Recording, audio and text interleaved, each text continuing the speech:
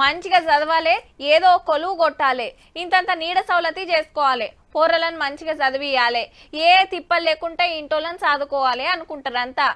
కానీ కొందరంటే కొందరే ఏదైనా డిఫరెంట్గా చెయ్యాలి ఎవ్వరు చేయలేని పని చేసి చూపెట్టాలి నన్ను చూసి ఇంకింతమంది నేర్చుకోవాలి అని అనుకుంటారు. ఆసంటోడే గీ అన్న సుత. దునియాలనే డేంజర్ అయిన అన్నపూర్ణ పర్వతం ఎక్కిన తోపు గి అన్న ఇప్పటిదాకా ఆ పర్వతాన్ని ఎక్కింది మనోడు ఒక్కడేనట మరి. ఎనిమిది వేల తొంభై ఒక్క మీటర్ల ఎత్తుతోని పదో ఎత్తైన శిఖరం మీద జాతీయ జెండా ఎగిరేసిండు. నూరు మంది పర్వతం ఎక్కుతానికి పోతే తక్కువలో తక్కువ ముప్పై మంది అన్న కాలం చేస్తారంటే చూడురిగా ఎంత డేంజరో అగో తాడుని పట్టుకొని ఎట్లెక్కుతున్నాడో?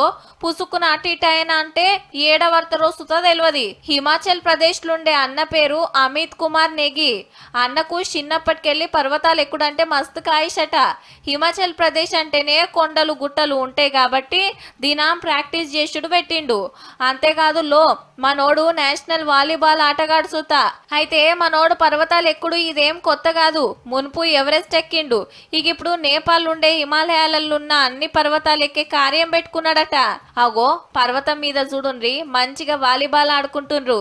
కానీ పర్వతాన్ని ఈడియోలో చూస్తానికే కళ్ళు తిరిగినంత పని అవుతుంది జర సర్కారోళ్ళ ఆసరైతే ఇంకిని పర్వతాలు ఎక్కి దేశానికి పేరు తెస్తా అంటున్నాడు అమిత్ అన్న. దేశంలో తోపు సాహసాలు చేసేటోళ్ళకి ఇచ్చే టెంజింగ్ నార్కే అవార్డు కొట్టాలని అన్న కలనట. తోపు పర్వతమే ఎక్కినవు కాబట్టి కళ జప్పునే నెరవేరాలని కోరుకుంటా. All the best Amit